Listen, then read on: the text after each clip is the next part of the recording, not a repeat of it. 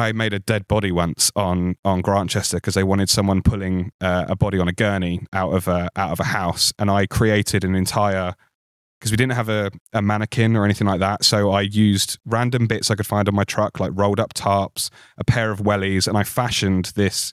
I modeled it on the actor as well. I had him lie down and I built it around him and created this fake body. And then I saw it on the show when it aired last year, and I was like, that's a really good body. I did that, and I was really proud of that. And the director came up to me and was like, you really got us out the lurch there.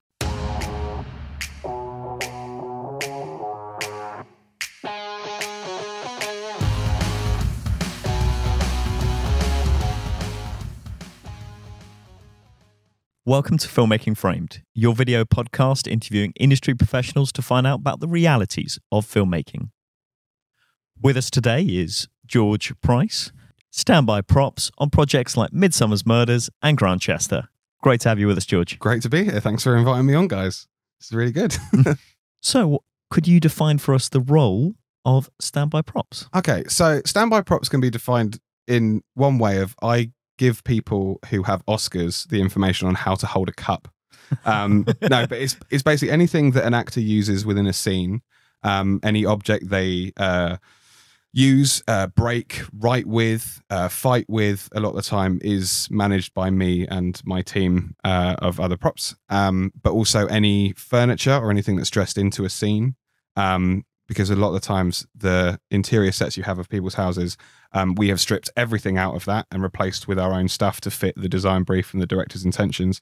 And then within the filming time, it's our job to manage everything there as well. So if they go, we want to put a camera over there, but there's a sofa there, it's down to myself and the standby team to move that stuff out safely and also to protect the uh, house of the person that we're filming in, basically, similar to locations department. We, we definitely work very closely with you guys. yeah, we like the locations department. There is an eternal tug of war over who should hold the keys to a house if the actor puts the key in the door. Oh, don't. I always I always opt for can we just mime it because then we can use our keys and I don't have to take them from you and they get handed to an AD who gets handed to a runner and before you know it these keys no longer exist. Yeah. And you're, you're trying to track back. So, Yeah. who, who had these keys? Yeah, you need to have like a big like like the big toilet sign thing where they have a giant lump of wood on it. So it's like right, you want the keys, but you got to hold this giant bit of wood, and you go, oh, suddenly you don't want to hold them anymore. Yeah, I wonder if we could uh, explore props even more. So there's obviously the standby props, which is Mhm. what you do. There's dressing props, Yep. prop masters, prop buyers, Yeah. etc. Give us a breakdown on the whole department. It's, Wow. a huge question, That but is- if you could kind of talk about. Uh, let's start from the sort of junior levels because Okay. this is, like I say, we aim this podcast at uh, people looking to enter the industry. So Mhm. say they're looking to enter props. What are the junior levels, and then maybe we can work our way up from there. Okay, so the props team sort of comes under the branch of the art department, but in most departments on a film set, there is a sort of singular hierarchy, like a ladder style structure, whereas the art department is more like a tree. So it branches out into multiple directions and both and sort of sub departments. So if you have the on-set team that are directly with the active film crew, they are the standby team. So you would have a standby prop. You would usually have on smaller productions, you'd have one, or you could have two members. So you have your first man, second man, and then you also have um, trainees. You can have juniors. Uh, it all depends on the scale of the production of whether you're given a large team to work with, with lots of trainees and juniors involved, but also you'd have a primary standby on set. With dressing props, you can you can have most people are just referred to as dressing props because it's quite a, a level hierarchy with that. But you would have charge hand dressing props who are in charge of the dressers on the scene. They are the prop master's representation while they're dressing because obviously the prop master can't be at every set at once that they're managing. So they send charge hands or supervising dressing props or supervising standbys. There's a lot of titles in our department, um, and it all depends on the scale of the production. So, as an entry level position, you would start as if you wanted to work directly with the film crew in in the sort of eye of the storm, as it were. You would be a trainee standby prop. So you're you'd go in that you didn't you don't need a crazy amount of experience to do that because it is an entry level position. But obviously, you should be able you should be quite practically minded. You should have a rough ability of how to use uh, power tools a lot of the times because you will have to. I mean, we basically bodge stuff so it looks right. So it will look great, but it won't necessarily last for ages. So you need to like hang a picture up really quickly, and you just need need to be able to move quickly and efficiently and safely. Most importantly, um, So you can be a trainee uh, standby prop, but then also if you wanted to go into the more making sets, like set design in a certain way, you can go in as a uh, trainee dressing prop. So you wouldn't work directly with the crew. You might have a little bit of a overlap between when they're filming. So dressing props tend to work a day or two on on something like Midsomer Murders or Grantchester, which I, I work on, um, they would work a couple of days in advance either side. So they would dress the set, the crew would arrive, shoot it, then a couple of days later, the team would go in and remove everything and reinstate it like we were never there. And then we liaise with the locations department and tell them all the stuff that they broke. Um, and that is a lie. um, Dear listeners. um, yeah, and then when you have the art department itself, who are based usually at the production office of of the production team, um, you have a art department assistant who, again, their roles would include uh, basic graphic design, basic prop sourcing, um, and assisting the uh, art director and the designer, who is the head of the art department. So, sort of everyone's overall boss within the art department. Um, and yeah, it's sort of those are the three sort of main facets of the initial branch out from the bottom of the tree, as it were. Um, but there are also ways to do you can have slightly different jobs where you go slightly above that depending on your level of experience but yeah those are the sort of three i'd say the main ones to go into as the first door you go into as it were And, and while we're on it, we, Mhm. we do usually save this question for later. But Mm. if you were looking to get one of those three jobs, Mhm. How would someone start that process? How could they find those jobs? You know, where do they like? What resources do they need? yeah um, at the moment uh, there seems to be a, a real surge in social media uh, employment within the art department so there are um, film and tv art department facebook groups that you can use there's also whatsapp groups that you can once you've maybe worked one or two jobs at a lower level, be it on commercials or something like that, someone can introduce you to that path and sort of vouch for you in a way. And then once you're in there, it's a frenzy. It's like a, it's a lot of the time it's like a tank of piranhas. But you can, if you're, you know, strong-willed enough, you can pick out certain jobs and get into there. Um, Those sort of things you have to be pretty fast. Oh, so, yeah, So if someone posts a job in one of these WhatsApp groups, you have to be, have a CV 30 that's seconds. accurate and ready, Thirty seconds. and then send it. Yeah, Yeah. because it, it's very quickly they'll go, okay, position filled. And yeah. You're like, oh, yeah. you see it an hour later, and you go, Yeah. ah, yeah. Sometimes it comes in the same minute, and you're like, "How has someone responded that fast?" But it is, it is a very, very competitive uh, department. And if you know the person you've got a relationship with them, call them. Oh yeah, absolutely. Networking is so as you mentioned in one of your previous episodes, networking is so crucial, but it's also it's not just networking for the sake of trying to get jobs. It's just remain in contact with people that you work with, maintain those professional relationships um, and personal relationships you have because it's a very friendly industry a lot of the time. Um, and you can build such great friendships with people and just maintaining communication with people is key. Like, don't sort of, if you go away for a bit, you can like if you don't talk to people for like a month, you can be replaced very easily because the second you leave, there are three people that want to fill your position and will do it quicker, faster, and cheaper. Like it's it's very very competitive. So keep your network tight, keep talking to people, and communication is key. Definitely. I was wondering that one thing I've seen, which I don't think we've covered on the podcast yet, but Hmm. one thing that can be challenging if you're building those relationships is is if you're already on a job.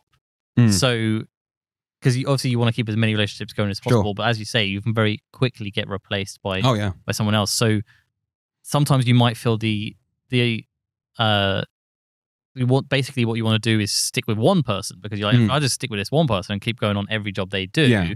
But then you you put yourself at risk of that person deciding to take six months off, Oh yeah. or you definitely. and you being forgotten by everyone else. So Yeah. how do you balance that that sort of that, that conflict? that is that is one of the hardest things within within the art department is is you get comfortable with certain like prop masters. Like i've worked with two or three that are are really dear to me and they're very good friends. Like some of them are even invited to my wedding. Like i'm and you you get very comfortable with their jobs because they sort of seek out the same sort of genre same sort of time frame. Um like i know prop masters that work primarily in like crime dramas be it grantchester midsomer murders chelsea detective stuff like that that when you learn to like those kind of jobs, you go, actually, no, I'll, st- I'll stick around for a few more jobs. And then, like you said, you, you've got the risk of, well, you've been doing this for now two or three years. Like, no one else knows who you are. So you have to, I think, build up a comfort blanket and then you need to take a step away and go, listen, this is no, there's no professional disagreement. I'd just like to pursue another project. And you think when you first do that, especially for the first time, you think that that's going to be let, met with a lot of animosity. But then people that you've worked for that have worked in the industry for so long, they know the nature of the beast. Like you're not going to want to work with the same person all the time. And it's good to pursue your dreams and your plan A, B, C, and D. So you can go, listen, I want to work on this production. So I'm going to take some time away. I'm going to build up my CV. I'm going to build up my skill base, build up my kit. And then I'm going to apply to work on a different job of a different caliber and and hope you get it. And that's how you sort of make the step up into the next echelon of of propping. And you mentioned uh, upgrade your kit. Could you go into some more detail about what that kit would be? Oh wow. Um a kit can range from anywhere between having a leatherman on your hip to having an 18 ton truck full of everything you could ever think of and anything in between. It's one of the most fascinating things i like about my industry is looking at how other people have their kits. So on something like Midsomer Murders, uh, you'd have like a three and a half ton Luton um, that would be full of all your your kit, but you. I always say that the prop team is there to cater for chaos. So we're there. We've got an entire truck full of what ifs. Like they might say, "Oh, we're doing a normal scene here, but suddenly we want it to be look like it's been raining." So you grab a hose pipe that you have on on board on your truck, you wet down the entire street because they've suddenly decided on a whim we want to soak this down, and we haven't got a uh, visual effects or SFX team in to to do this. So it's now down to you. Everything sort of boils down to whatever any other department can't do. The last people they go to is props, and they'll go, "Can you facilitate this?" And a lot of times we'll go, "We'll try, and we'll make it work." And and so yeah, we'll have anything on board from uh, weapons to uh, like fake bodies to uh, dog leads to food consumables um, fake wine, fake beer, like anything in between. And, and we're we always have a little bit of everything because then if the director really wants a certain thing, it's great for us to be able to go, actually, we can make that work for you. It's not scripted, we've not planned for it, but as a standby, you always have extra stuff on. You're not just given the props for the day. You're you bring in your own equipment, your own supplies, and you go, we can make that work for you. And it really helps you achieve really great things. And I, I have had so many moments where I've been quite proud of the go. Oh, we need we need this to work. Like I've had to. Um, I made a dead body once on on Grantchester because they wanted someone pulling uh, a body on a gurney out of a out of a house, and I created an entire because we didn't have a, a mannequin or anything like that. So I used random bits I could find on my truck, like rolled up tarps, a pair of wellies, and I fashioned this I modeled it on the actor as well. I had him lie down and I built it around him and created this fake body. And then I saw it on the show when it aired last year and I was like, that's a really good body. I did that and I was really proud of that. And the director came up to me and was like, you really got us out the lurch there. Like it was really good that we got to have that shot. And so, yeah, we, we're expected to create the impossible if we're not talking all grandiose. But yeah, it's there's always something on your truck. And I've I've been on larger scale productions like uh, I worked very briefly on the Marvel film Morbius, um, which was an interesting film, mm-hmm. and I got to go on the prop, uh, the standby props that a guy called Gary Dawson, who is the greatest standby prop in the industry. I've only I've only had the privilege of working with him a couple of times, but his truck is a gorgeous machine of precision and everything is labeled, everything is in boxes. He's got everything from fake fruit to scuba gear because you never know what it's going to come with. And that's why he has the reputation he has because he has everything available. Oh. He can give the director anything they request. Like, I wonder if you could talk about how do you prepare that van? So, presumably you start a job mm-hmm. and then you have to do you buy all that and put it on the van? Yeah, I mean, it's a mixture of you have your own kit. So I have my own kit um, that I have in a storage locker. So it's about a three and a half ton truck's worth of stuff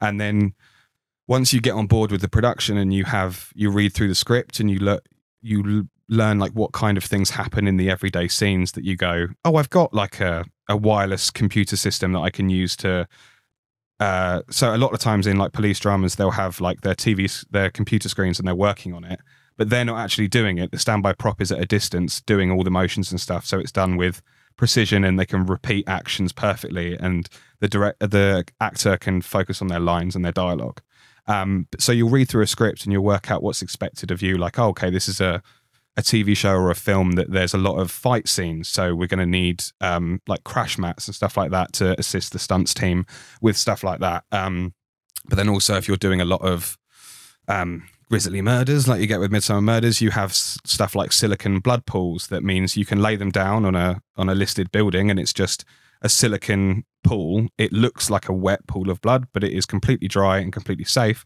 and doesn't mark the 15th century wooden floors.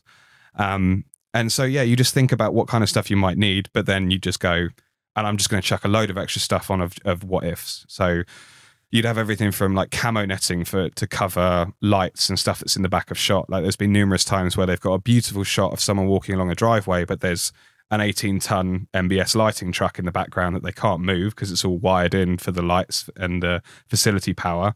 And so you have to climb up on a ladder and cover the whole thing with a camo net because otherwise the shot can't be used. So you have camo nets, you have all sorts of any anything you can think of, and a lot of times there'll be stuff that you go, I haven't got that, um, but it'll be really good. So you talk to the art department, and they have buyers that will buy props for the show, but there's also buyers that will buy consumables and stuff that is towards your kit. So you're given the art department's given a consumables budget um, on each production. So that goes from, from anything from tapes to um, fake blood to any sorts of things and in between. And as long as it's within reason and you're not truly taking the mickey with it, you can get a lot of extra stuff um, in that re- can really get you out of the out of the lurch when you're in a high tense situation.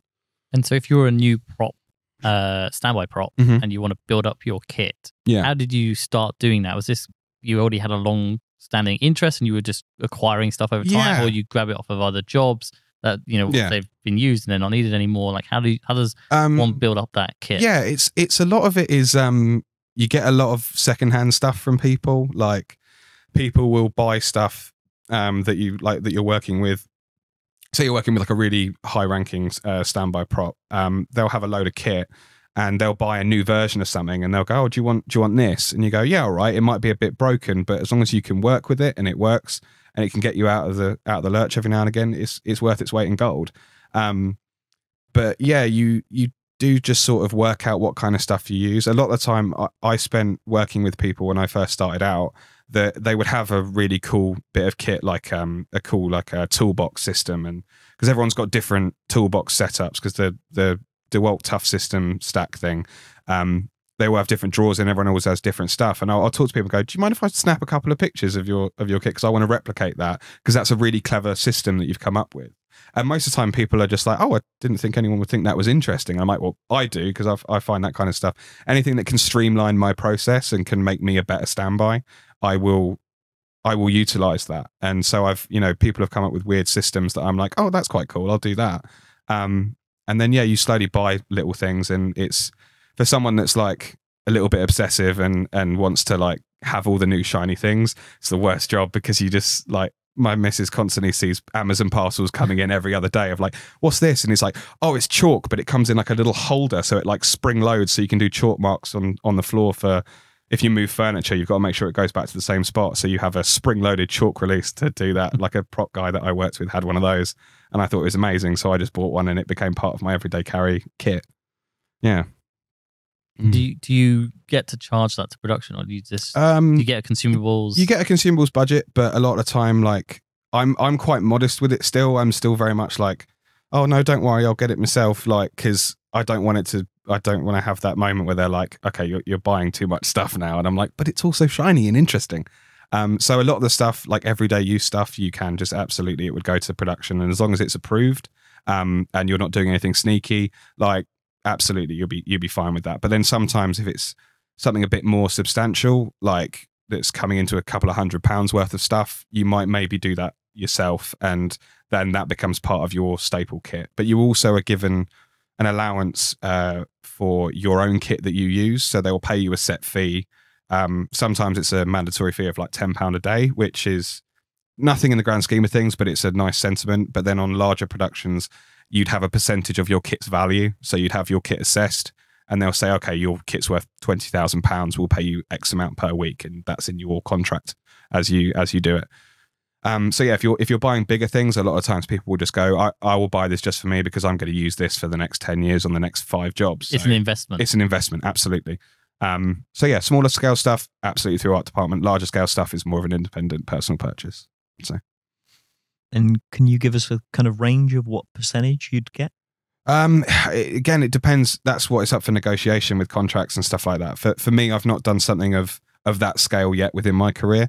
Um, and yeah, it's it's something like I believe it's like ten percent of your kit's value sometimes, but it also depends on what you're actually bringing to it. Because if you start to ask for too much, that's when line producers and stuff start going through lists and going, well, actually, you don't need a microwave on a medieval drama. Like, why would you invoice for that? And it gets a bit as long as as long as you're being honest with it and you're truly saying, I can't. This job cannot be done without me having th- this.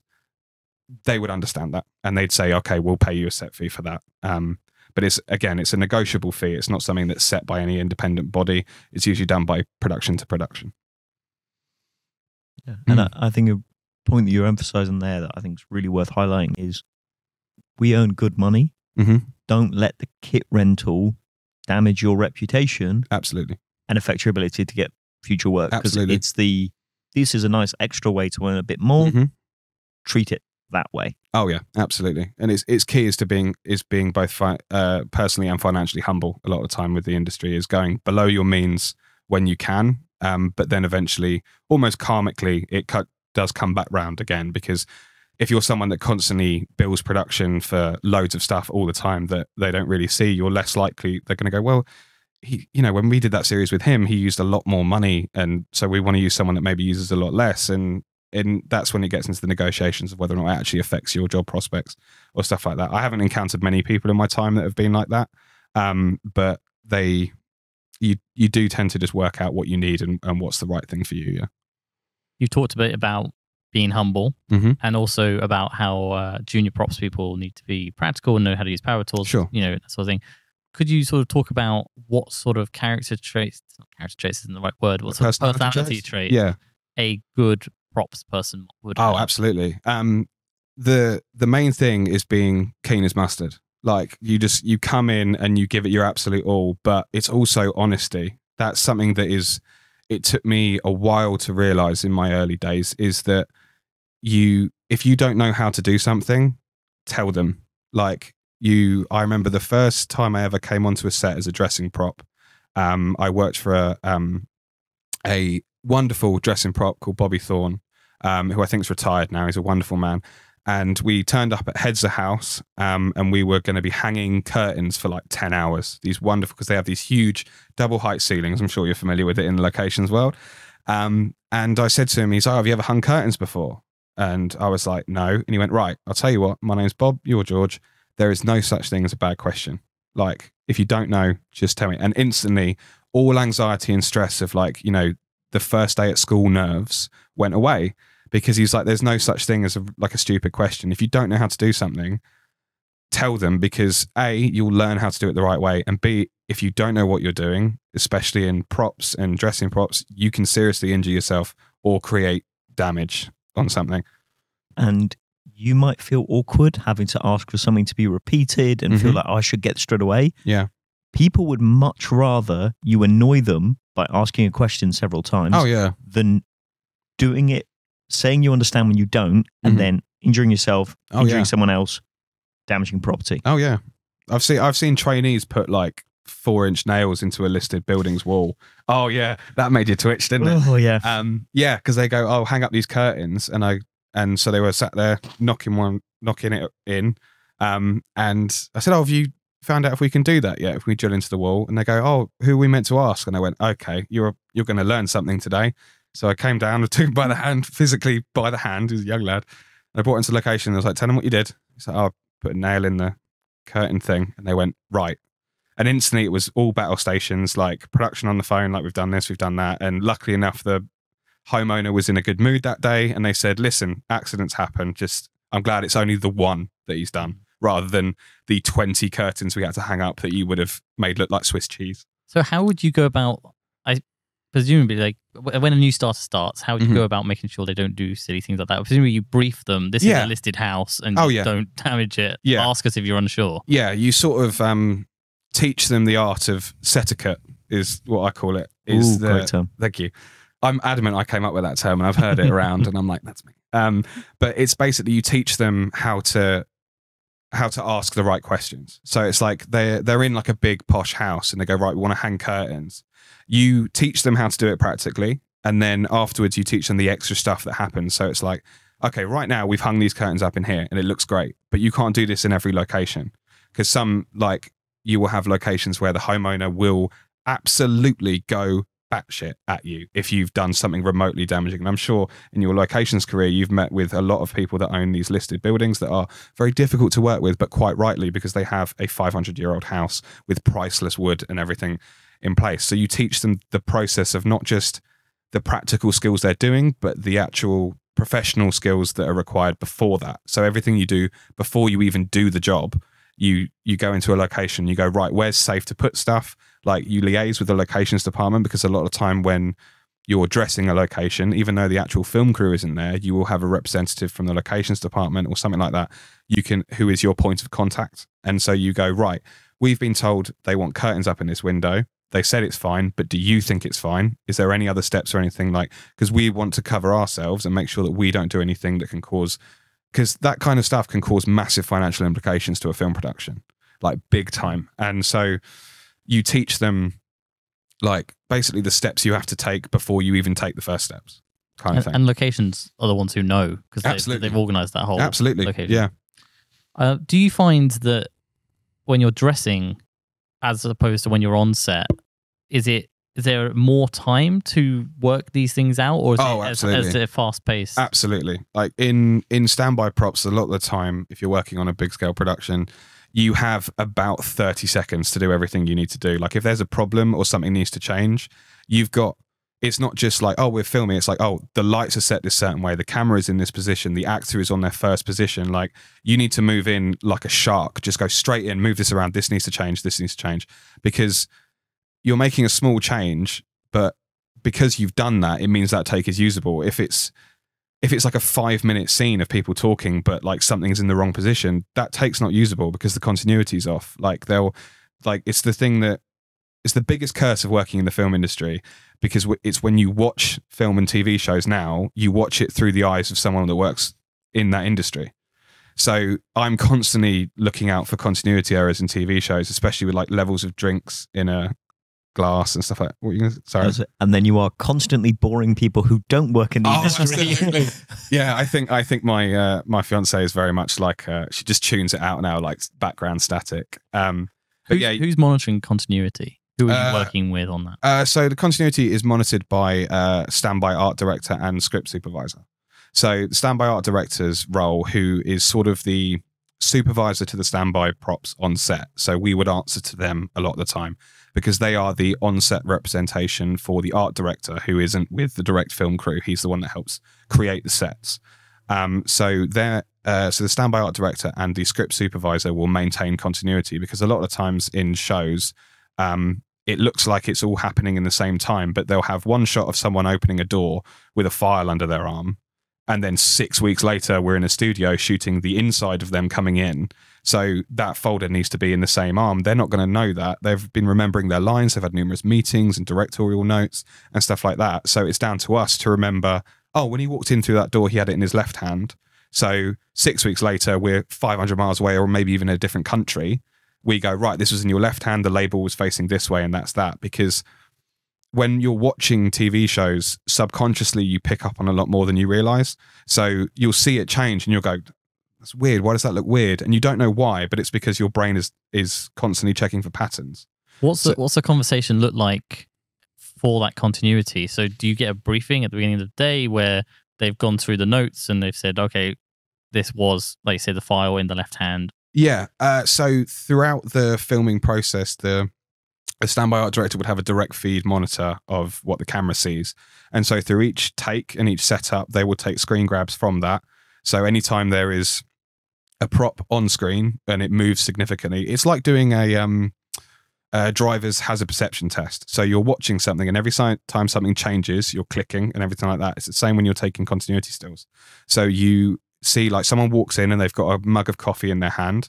You take a photo as they come in, so you can see how they're holding it, like at what position the the low, like if there's any logos or anything like that. If it's facing the camera, if it's away from camera, they can then put it down on a table and they sit and have a conversation with someone. They pick it up then with their left hand. You take another still, And so throughout, you build up this sort of archive of that, and then you of of the scene. And obviously, the scene could be split up across multiple days, schedule wise. And then later on down the line, they go right. We're doing scene uh, episode three, scene 18. We did 17 six weeks ago. Um, where was his cup in his hand? And obviously, we'd have all of the props again. They would be arranged with the art department and the props team. They would bring all those relevant props back because sometimes we'll carry them for the extent of a job if it's a, a key action prop or a hero prop, as we refer to them. Um, but sometimes they are taken away and they come back and then they go, right, this is the mug that he had eight weeks ago. So you go, right, that was in your hand. So you go up to actor John Smith and you go, right, this is the cup you were holding in that scene. You're now coming out of that thing. So when you stood up, you had it in your right hand. So when you exit, and you room- as the prop department say that to the actor. Yes, 100%. We will liaise with them, and the actors, they fully understand the process. Um, a lot of times you'll, well, I haven't, I haven't had it too many times in, in my career, but a lot of times the actor's like, oh, no, no, it's in my, it's in my left hand. I remember I was there. And I go, okay. And then I get an iPad out and go, no, you, you don't. Like it's this hand, because then otherwise you'd get a massive And is it, is it the standby art director who does the prep for that shoot day? Are they the Uh, ones going, oh, we're going from 17 to 18 after the last after yes. six weeks? Yeah, they would, they would liaise. And then they brief the rest of the prop team, the Yeah. standby prop team. Yeah, a lot of the time they will um, they will liaise with the prop team. Like we as standby props, we will do a similar thing as contingency. So like at the start of every production, you would do a breakdown of the script.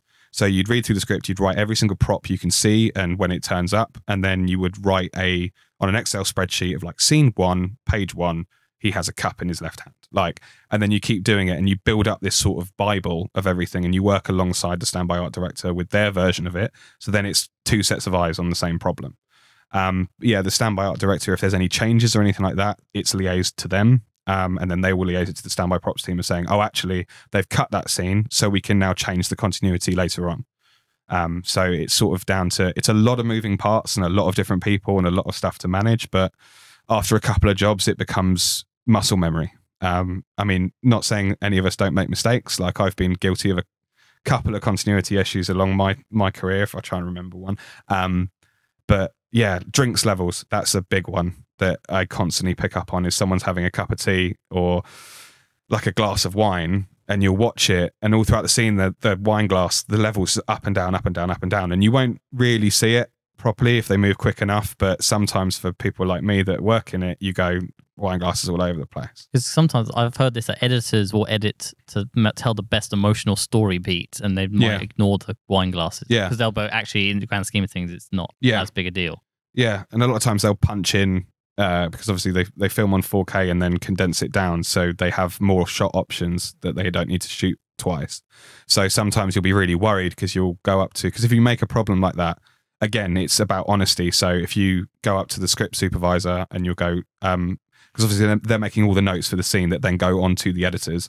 Um, if you go up to them and go, I'm really sorry, his briefcase was in his left hand on that one, not his right and they go, "It's fine because we're going to use that as a punch in." So, or we'll we'll we've shot three or four versions of that, so it just means we can't use that version. It's not the end. And the script supervisor knows that. yes, And they're having conversations with the director. yeah, because they're usually sat right next to the. So the director is there with his monitor with his cans, and the script supervisor is usually very close to them, and they liaise throughout the entire shoot day of like, oh, that needs to be there or that needs to be there. So the script supervisor is also constant is looking at their own monitor, and they're they're wired for continuity. So they they go like you'd shoot one side of a room and you've moved all the furniture out, and then you flip the camera the other way, and like a chair is missing or a stack of books or something. Like the average person wouldn't notice something like that, but the script supervisor goes, there's meant to be something over there, isn't there? And they'll watch back their previous takes or their continuity photos that they take, and they then liaise with us, and then we go, oh no, we've we've missed that stack of books, and sure enough, it's underneath a grips chair somewhere, and you just go and pop it back in place, and then you go, ah, that's fine. Um, so yeah, continuity is king. Wonder if they walk into a room of their house and go, oh, someone was looking at the photo of my mother in law today. Absolutely, It's turned absolutely. like three degrees. you notice the weirdest things. Like it's it's it changes how you view a lot of things in life. It, like it makes you it sort of gives you OCD. Like I was my partner would describe me as someone that's quite messy, but then when I tidy, it's like I'm cleaning a crime scene. Like it's just everything is in its perfect place. Um if I get the motivation to properly do that. oh, The other bizarre skill that continuity needs to have is it's going to sound slightly obscene, but the ability to resist going to the toilet oh god. because yeah. they're, they they I, Mm. I never see them leave because they're chained to the monitor Yeah, and chained to checking that no one is moving in. You know, yeah, because if they disappear for There's only one Oh. of them normally, right? there is only one of them, they, they- so they don't have someone to cover them. yeah. I So, mean, that's God knows how they do it. Yeah, it, happen, it happens in standby as well. Like you, you just if you're doing a particularly difficult scene where there's a lot of complicated resets, like someone throwing a glass and it breaks, you got to clean everything up, replace it with a new breakaway glass. Um, you then have to wait, and they go right. We're turning the cameras around, or we're changing the lighting setup. That is your opportunity. Like you, you don't get to work on your own bladder schedule. Like you just have to do it when you get the opportunity. They go, so you can go up to the first AD and go, what? How long is the turnaround on this? And they go, oh, you got about 10, 15 minutes. You're like, okay, you can go outside, you can go for a wee, go get a sandwich, like go have a cigarette, whatever you need to do. Um, but you don't get to do it on a regular schedule that would be in your own mind. You don't have that kind of freedom because if you leave, that's where continuity problems happen. And the worst thing that can happen is when you've gone away and they've gone, they've done a whole take and it's like a big scene and something's wrong and they're only doing it from one angle and there's something wrong and then you have to go up and tell the entire film crew that you've got to do the whole thing again because you wanted to go have like Yeah. a muffin. Like it's it's the worst. You go, I'm really sorry, and yeah, we've got to move that because that's not there. So- and then you have to argue about the continuity a lot of time because sometimes even the director will go, "Oh no, no, it's fine." Like they won't notice that, and you go, "But we did, and that's our job. So we want it noted that this is wrong." And you flagged it. that the, but we flagged it. As long as we flagged it and the director is happy with it, the power then they obviously are king of the crew. So they have what they say goes. and that's the big thing cross departments with that is you go this is the issue we've Mhm. noted it and then Sure. first AD, director producer exec someone can say nope, that's fine we're moving on Yeah, and you accept it so it's you're there to raise that concern yeah. and then respond however the powers that be want you to respond Yeah. yeah it's yeah it's it's all about communication um it's all about communication and honesty because at the end of the day we're all work we're all walk, yeah we're all working towards the same goal. Like we all want to make good telly and good films. And if something is wrong like it's it's wrong and it's not what we want yeah in six years i've never come some across someone who goes you know what i really hope this take is terrible Yeah, you know I just 100%. Uh, I've had I've had directors that have done that. That they've just said like, I really hope this one's rubbish because I'm sick and tired of doing this and I want to move on. like, there's the amount of times you do 15 takes of someone drinking a glass of whiskey or something, and you go, have you worked with any actors that are sufficiently high profile they tell the director the day is over Stephen Graham. Every single time, Stephen Graham, and I, I will say this for the rest of my career. Stephen Graham is the greatest actor I've ever worked with. His level of professionalism and stuff is is unmatched. I worked on a series was in called Code 404, um, where he plays a police detective in slightly into the future, and his colleague, played by Danny Mays, is a cyborgly enhanced policeman. But it's it's a comedy, but it's also serious a lot of times. And I was quite intimidated about working with someone like Stephen because he is just his back catalogue is just greatness after greatness, and he's a fantastically natural performer.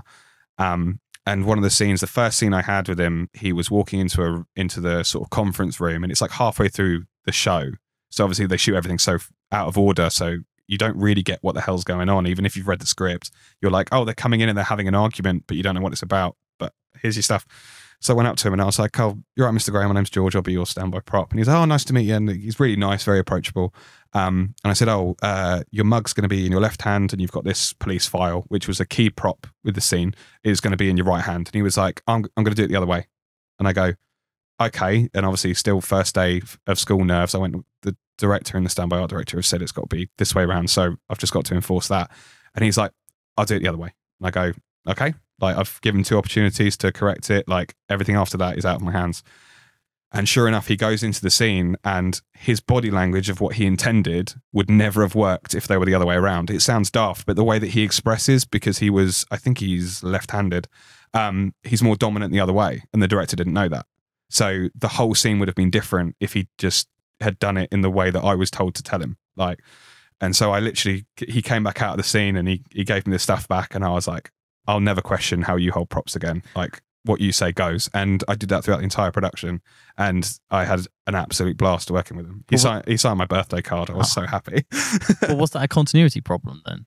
Well, it. it's it's it's like the you're trying to enforce continuity from the get go. So what I was trying to do w- within my professional capacity, as much as he is this amazing A list actor, like I wanted to be like this is how you're doing things. So then going forward, he then trusts in me that every time I hand him stuff and go, this goes in this hand, or this goes under your arm like this, or you need this on your shoulder or whatever. He believes me because he knows it's not just my opinion, it's based on the continuity and the notes and the amount of screenshots and, and work from multiple different people that I work alongside. Um, but it was just in that instance where it was like the first scene, and I was like, right, I trust in it. Obviously, I still gave it a second guess every time. Like if he says, "Oh, I want to do it like this," I'll go.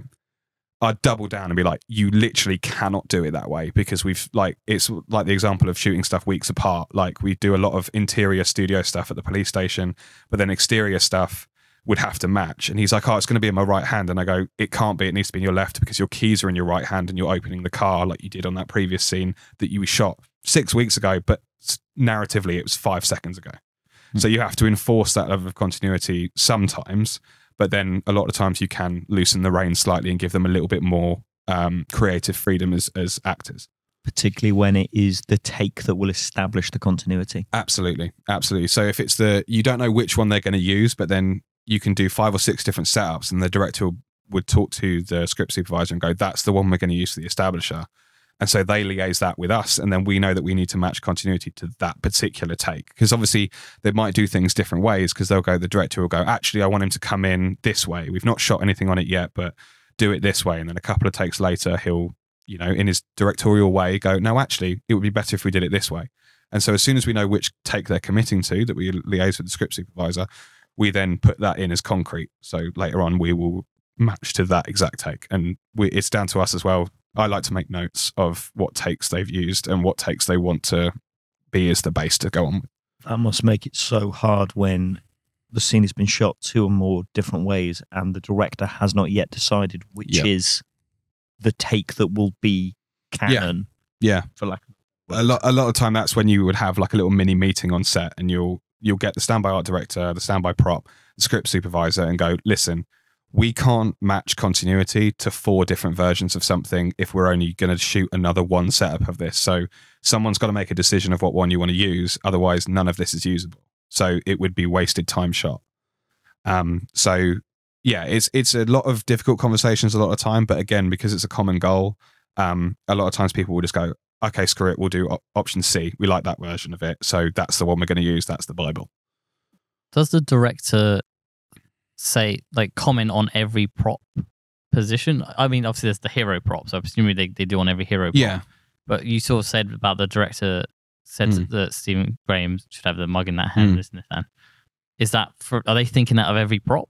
Has the Uh, director constantly got that in mind? A lot of times the the director, because they they have so much on their plate that they've they've got to take into account because they want to know how the shot is going to move, like how the camera's going to move to the scene. So they're liaising with the grip department, how it's going to be lit. So they're liaising with the Sparks team and stuff like that. A lot of the time, props are the least considered in that scene, but to us, it's like we're telling you this now because then when you get into the cutting room, you won't then have to go, why is this cup changing color? Why is he holding that book that way? Like, why is that chair there? Like, because then he suddenly realizes, actually, I, this doesn't make sense. It doesn't tell the story I want it to tell. So a lot of times we will come up to the director and we will do it in advance. A lot of the time. So if we've got, um, like a like a say like a diary or something of uh, of a character that changes uh, throughout the show. There, there's more stuff added to it. It's referenced as a hero prop. Like we will bring it to the director as early in advance as we can. I try and work in like a 72 hours to a week beforehand that we'll go up and go, right, we're shooting this next Tuesday. This is how it looks. Um, are you happy with this? And they'll go, yes. And then that's it locked in. But then they can give feedback, which we can then send to the graphics department or the art department and they can make the amendments they want. We then bring the amendments back even before we shoot and we go, right, these are the amendments you've said. Is this right? And they go, yes, that's perfect. Or no, one more time. Can you rip that page in a certain way? Can you redraw this design because it needs to look like this? Because I've had a discussion with the actor and he can't do that sort of drawing. So can you change the style of the drawing? And it's all these different moving parts that come in to create this one prop that you will see for half a nanosecond. Um, but it's crucial that it's right, and it's down to us that it needs to be right. Because if they shoot it and it's wrong, it's our heads on the chopping block. So again, preparation is key. So a lot of the time we're watching takes happen, but we're also that's why there's more than one of us. So one of us will be directly on the floor, no, usually the first, and the second is liaising everything and is anticipating the chaos to come. So they're looking at the schedule, they're looking at the script, and they're going, right, this scene needs this prop. We haven't got it. Where is it? Is it being hired? Is it being made? Is it being purchased? And then you work out the timeline of the object. So you know when it's coming to you, you know when you're having it for, you know whether or not you're allowed to hold on to it for a period of time because you've got a scene in two weeks' time. Like you'll have something. Uh, like I, I worked with uh, on a job where we had like a, a vintage Cartier lighter that was worth like a thousand pounds, and they said, right, you've got it on this day. And I said, okay, can we hold on to it for a week? And they go, no, we can't because it's an insurance issue. So once we've shot the scene, we then pack it, packaging everything up in its safety box, like we're locking it away. We then hand it to back to the art department. They then hold on to it securely in their building, and then it's brought back out to us when it wants to come and play. And there must be a really impressive system for tracking these where these props are at any given point. It's that it's just there. The it's, amazing mind. It's just the mind. Like it's well, it's the mind and its schedules and it's lots of emails and phone calls and texts and. But and you WhatsApp hold groups. props in in containers or warehouses Yeah. and stuff, and you must be you, you wouldn't want to go in there and just find. Oh yeah, there's yeah. yeah, there's there are. It's almost like a. Imagine the most boring Argos warehouse you've ever been into. It's like that. So there's just racks and racks of stuff. There'll be set numbers uh, written along in, in gaff tape. They'd write down like uh, Sarah's house evening, and then it's that's all the stuff that goes into that scene. Um, you'd like your itching to say something? Yeah. I was going to say George is being too modest here. It's less Argos kind of back catalogue and more, you know, John Lewis. more, more the museum where you've got the Ark of the Covenant at the end of Yeah, it. no, it is- You're just like that yeah, is some cool yeah. random stuff that they've do- got. I downplay it so then people don't think it's boring. Um, but then it's like when they go in and it's just mad stuff. Like it's it's like when you go into prop houses. So we hire props from uh, what they call prop houses, and there's numerous ones all around London. There's several up in the Midlands and up north and all over the world, really, actually. But each place sort of specializes in certain things. So you've got companies like Superhire, which is like the world's biggest car boot sale. It's like you want an umbrella, they've got 40,000 of them. And set decs and designers will go down there and go, right, in Gerald's apartment, we need it to look like a bloke in his 60s lives there. So they go to every department, like chairs, tables, and stuff like that, and then they search that kind of stuff. You go to something like that, and it is, like you said, it's this beautiful, amazing warehouse that's so it most of the time it's organized um but you go in there and it's just like there's always something to look at it is like a a knick-knack mecca of amazing things like it's so good um and yeah there's so we then get these hired from all these different companies. They come to a central place and the uh storeman which is the other prop title which is another one of the slight branches slightly up um they will get will get massive an 18 ton truck with loads of cardboard boxes that have all got these all all these individual things bubble wrapped in. They unwrap absolutely everything. They lay it out all on tables. They photograph every single thing. They write down numbers for each every every single individual item from someone's car to a toothbrush and everything in between and they work out that everything's there. They check that everything has been delivered on time and then they package all of that back up. It's then put in a truck sent down to the set which is met by the dressing team and then they will put everything into place like from there. And they will do the same thing. The storeman will meet them there and the storeman will have all the paperwork has all the different props listed and they will go through everything. There are so many different stages of security and logging that a lot of the time you you can't miss stuff but sometimes you do like sometimes you'll leave a set and they go oh where's that ming vase that we hired and you go oh i left it in that bloke's toilet like it's like it's yeah and then you get a text or a call from props asking when they can go back to the location. Yeah, hundred percent. Yeah, you go. Um, hi, it's the location department. You know, we signed off on that location and we said absolutely we never need to go back there. Um, yeah, we we left that bathtub on the roof, and you just go right. Okay, have you got the keys? I was wondering if we could perhaps go into your first job in props. oh yeah, absolutely. So maybe talk us through what that job was, how you got that job. Okay, yeah. Um, so I got into props in in a quite a bizarre way, uh, and not the traditional path. So I used to work in locations, facilities, and security. It's where I met Danion. I worked with him a couple of times, and I was working on a job called The Nest, which was a um, psychological drama with Jude Law, um, and it did the festival circuit. It was an okay film. Um, and we were filming at Nether Winchendon House uh, near Aylesbury for like eight weeks. And so, as locations, your main duty is like You go in, set up, set make, make sure everyone is set up, make sure everyone's pa- like got power, make sure everyone's wearing blue shoes, even though they don't.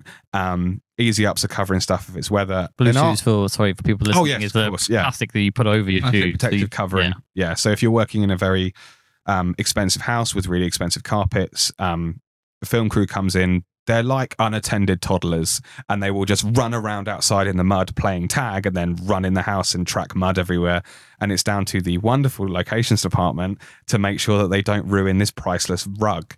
Um, so I had a lot of downtime when I was on this job um, because it was quite self sufficient. The crew was very courteous. I didn't have to check on them or clip anyone round the ear for for breaking stuff. And I started talking to the props team and just sort of helping them when I could. So they were unpacking props or packing stuff up or moving furniture. And I met this guy, Joe Locke, um, who was the standby props trainee on the job. And we got to talking and we became fast friends. And um, he a couple of weeks later, we were talking, and I, I'd finished this job, and I was working on Hobbs and Shaw, I think, over at Leavesden Studios. And I remember vividly where I was. I was outside the studio as a studio assistant, and I was putting a bin bag in a bin outside the Rocks stuntman's trailer. And I got a phone call, and it was this guy Joe, and he said, "Do you want to work in locations?" And I went, mm. And it had started to wear on me that I was like, maybe this isn't the exact department I wanted to work in. Not that there was anything wrong with it, but I was like, I feel like there's after working with these props guys and hearing their stories and hearing what they what they would have to do in their in their day to day job, it sounded a bit more like me. And I said this to Joe, like if you ever get a chance, I'd love to be able to work with you, even if it's for free, just to get a bit of experience. Um, and he said, uh, "You're you're a, a props trainee tomorrow." And I went, "Sorry." And he went, "Yeah, you're you're on a job tomorrow." And I went, "I'm I'm on this job now. I'm, working for the rest of the week." And he's like, "I, I don't care. Go talk to your um whoever your boss is and tell them this is what you're doing." And luckily, I was I had a really good relationship with the um with the location manager I was working for at the time, and I said, "Listen, I've opportunities come knocking, and I really think I should take it." And he went, "Absolutely, we'll find someone to cover you. It's fine." And uh, I then phoned it back and I said, well, "What do I do?" Sorry, what you can say? I was going to say, I, I think that's really worth highlighting. If you do good work, you're friendly, you turn up in time, and you get an opportunity in another department, Mm. 95 times out of 100, Absolutely, yeah. your person above you will go, not just do it, they'll be thrilled for you. Yeah, Now, it's good if you can say, and I've got this person and they're really good and they could cover my Oh yeah, the rest of that's also key. Yeah, Yeah. is going. But- I've got someone that can cover me, so it's never no stress to you. But you get people who are given those opportunities to change departments or step up or whatever, and they don't take them because they're worried that it will be judged. And it's people get this is a freelance, you're building, you're trying different things yeah. out. So I just wanted to highlight, Mm. particularly if you're doing all the right stuff in that role, expect people to be enthusiastic, not pissed off. Oh, absolutely. Sorry, I can, I I can, no, no, I, no, no, don't worry about it at all. Um, it's yeah, I completely agree. As long as you are, if you're good at your job and you're like you said, respectful, you've got good time management. That is key in this industry. Um, and as long as you're talking to them and you're communicating with them about stuff, as long as it doesn't come out of the blue at the worst time ever. Like you, I remember I'd spoken to um, his, his name was Mitch Green, um, and uh, I said, "Oh yeah, I've been thinking about moving on to props," and it had been a conversation, and I said there might be a chance that something could come off for it, but my modesty got in the way of me, and I thought, "Oh, well, it's never going to be me. I'm never going to get that call." And then suddenly I did, and I was like, "Right, battle stations." And I phoned him back, and I- phoned Joe back, and I said, "Like, well, what do I, what do I need?" And he's like, "Have you got any tools?" And I went, mm, "No." And he was like, "Right, give me five seconds." And he sent me a WhatsApp message with a list of like, right, you need a drill, you need drill bits, you need a screwdriver, you need. Luckily enough, I had a Leatherman, um, like a little multi tool. Go on. Would you be able to send us that and we can put it in the show notes? Oh God, I could, I could try if I can find it. I mean, this message he sent me this about. I can, I can, yeah, You can yeah. recreate? I can recreate it. Yeah, yeah, absolutely. Um, and I went round to my local B and Q. I spent my entire week's wages of that week um, buying a bunch of tools, and I turned up at the Columbia Hotel in London. Um, and it was the uh, what film was it? It was called Misbehavior. It was um, a Kira Knightley film about the uh, 1975 Miss World contest in London, and there was a big controversy there involving uh, Bob Hope and stuff like that. And it was Joe said to me on the phone, like, "Listen, I haven't told the prop master of your experience levels, but I know you're good enough. But just go in, be confident, be honest, and you'll be fine." And obviously, instantly the biggest anxiety ever. I was so nervous. I'd never been more nervous. I'm I'm usually fine in job interviews, stuff like that. I don't really get those kind of nerves. But this was like a whole new thing. I was entering the big boys club now, and I, I didn't know how I was going to feel. And I was welcomed with open arms by everyone there. It was a lovely bunch of people Aaron Gilbert, Tony Knight, Bobby Thorne, who was the guy I spoke to about the drapes um, earlier at the Hedsor House story. And um, yeah, it was it was just a really basic day, just taking the props out that they'd they'd filmed a bunch of scenes in this hotel. They dressed a hotel room to look like the 1970s, and it was just packing everything up. And they were like, "Right, can you put all the softs in there?" And I'm like, "What's what's a soft?" And they go, "Right, okay. Uh, any cushions, blankets, curtains, they're referred to as softs. So then you have softs. You got smalls." Um, which is like any small intricate items that you'd have on like uh, a mantelpiece, stuff like that and I was just so slowly learning all these terms. But then I was asking questions every now and again. But then when it was hectic and everyone was working really quick, you know, ask what needs to be done, do it, keep your head down. Like it's it's picking your opportunities to learn. So as much as you want to ask them, how do I do this? How do I do that? Sometimes you don't have that opportunity. So just make sure you're safe with it. And if you truly think, oh, I'm, I'm not able to do this, say something. But a lot of the time, just head down, get the graph going, and just and get it all out. And then I got to go home at 2.30, which was magical. because in locations, you're the first one there, last one gone. You're doing 14 hours a day, no matter what what it is. And it was this whole new world. And it was amazing. And I carried on doing it. And I worked for a prop master uh, called Ewan Robertson. And he then invited me on to his next film uh, as another, as a dressing props trainee.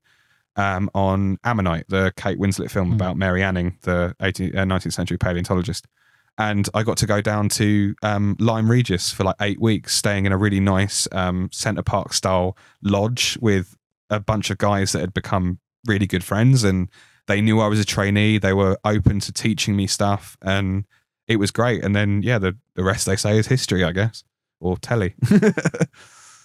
how, how do the rates compare between location marshal or trainee? They're, uh, they similar. It's very similar. Very it's similar. very similar because you're in the nicest way, you're, you're paid your worth mm. at that point. They're, they're going to pay you a good, it's like maybe 10, 15 pounds more a day. If that, it's not like you'll pay more in your ULEZ charges mm. nowadays.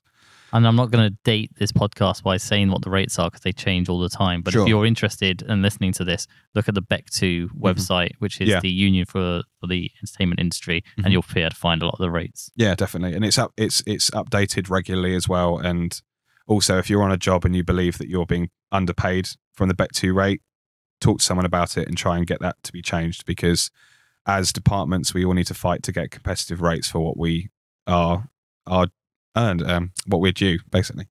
So I thought that's always something I always get told to say. You got to make sure that people yeah. know about that kind of stuff. And if you're a member of the union and production doesn't pay you for whatever reason, what's in your contract, that withholding wages or whatever, they will cover your legal fees. Mm-hmm. So, they will. Join but you have to be a member before that happens. You can't join in. Yes. So it's like crashing your car and then applying for insurance. Yeah, exactly. It doesn't work like that. Yeah. Yeah. Not that I've ever done that. No, not cool. oh, of course. Amazing. What is the best piece of advice you've ever gotten? Oh, my fir- my first one. It's I thought about this because I've I've seen on other episodes you've asked other guests this, and it's my favorite question. I know. Um, oh, I've I've been given advice, and it sounds like really bad advice, but I was given advice by a dressing prop I work with called Ian Newton. He's a wonderful dressing prop. He's like my work dad. He's been through. He's helped me throughout a lot of aspects of my career. Um, and his thing is take the money and run. That's that's his advice, and it's basically sometimes you get really hard days but you've got to realize that you're getting paid to do something.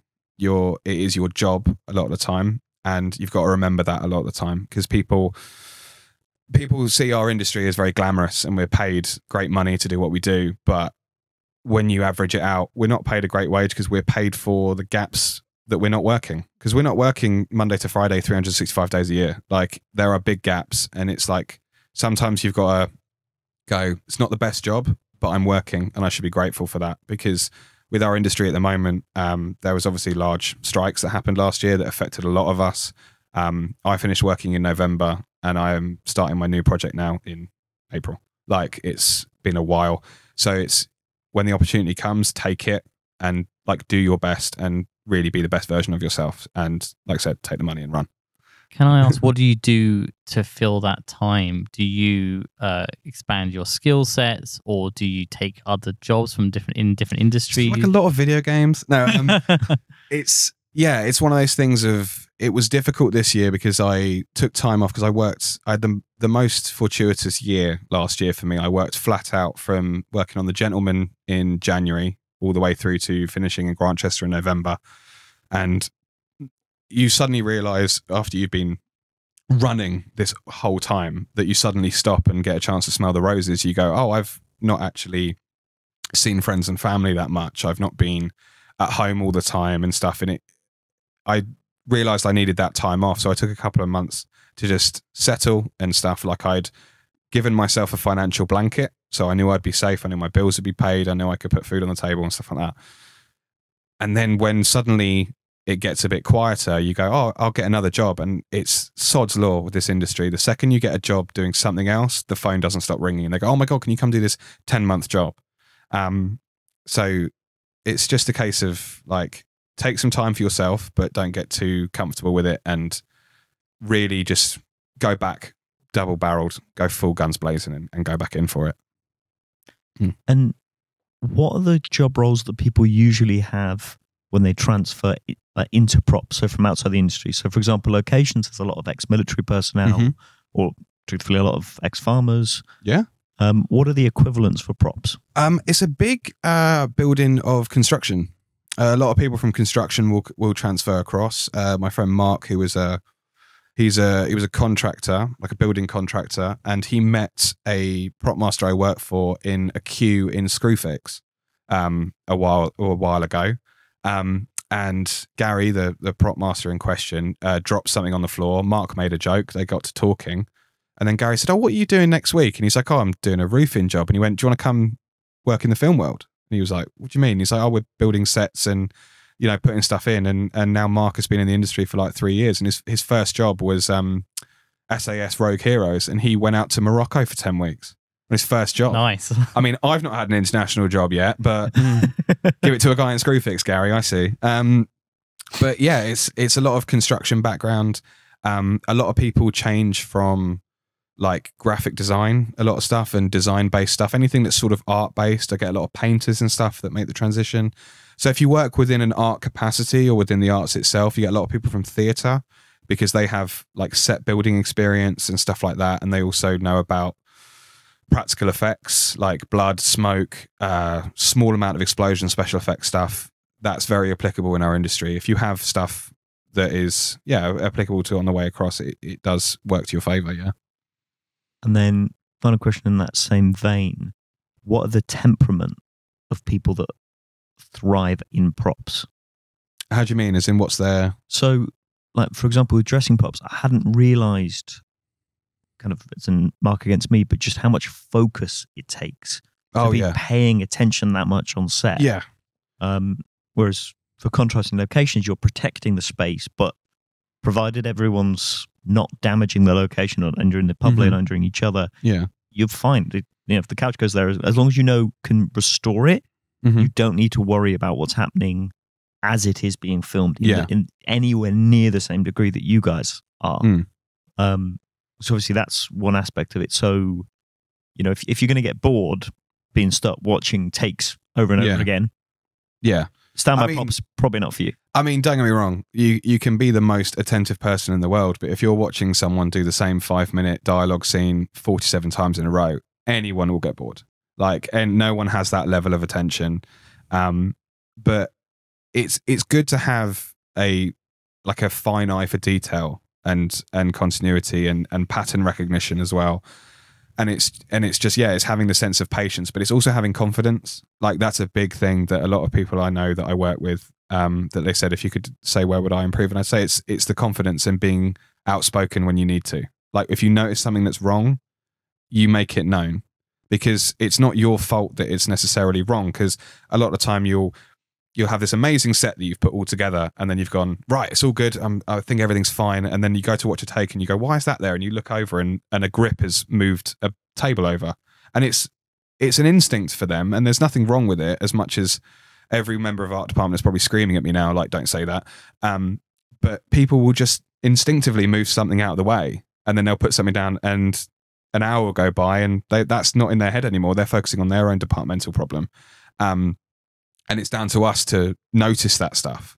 So it's having a keen eye for once you see a set, take photos of everything. My phone has got 14,000 photos of sets on it because you have to take photos of absolutely everything because it moves constantly. It's a it's a living a set is a living organism. It it constantly adapts to different things. Stuff has to move to adapt to things around it and lighting changes and all sorts. So it's having a keen eye for detail. It's having it's just looking at stuff and really taking everything in and really and taking in what other people have said and anticipating what could possibly go wrong. Because they go oh we want to put you hear whispers from other people of like oh the, i think they're putting a camera over there. And then you know oh god that's going to take us ages to move that. We might need to get more people in to move that. So you find the art department and go have you got any of the dressing boys around? Because we're about to do i think there might be a big move on the cards but no one said anything yet. And it's it's prevent it's preempting a lot of the stuff. So a good planning mindset and I'm going to be really cheeky and ask another final question. Go on. My fiance can tell you that's a terrible habit with me. If the final question goes on for an hour or so, nothing wrong with that. It's good content. um, so the DOP obviously works very closely with the gaffer, so that mm-hmm. that's a departmental relationship that's very close. Sure. What are the kind of equivalent departmental ones where props are kind of almost a step intertwined with another? That's a good question. Um, I I would want to say it's it's all departments, but for me personally, I think costume is a big one. Interesting. Um, so a lot of the time we're doing special effects stuff like blood work or stuff like that. That we have to liaise with costume and go, he's going to have this blood on his hand. This will stain. Like, how many of these jackets have you got? And they'll go, we've got one. And you go, right. We now need to have a conversation with the director and say this has now got to change because we don't want to limit the actor's ability to do what they want to do by saying you can only move your arm this way because if this drips on this like Burberry jacket, we're done for and the whole scene's lost because he'll have a big red blob on him. So we liaise with the costume department, sometimes with makeup and stuff with practical effects.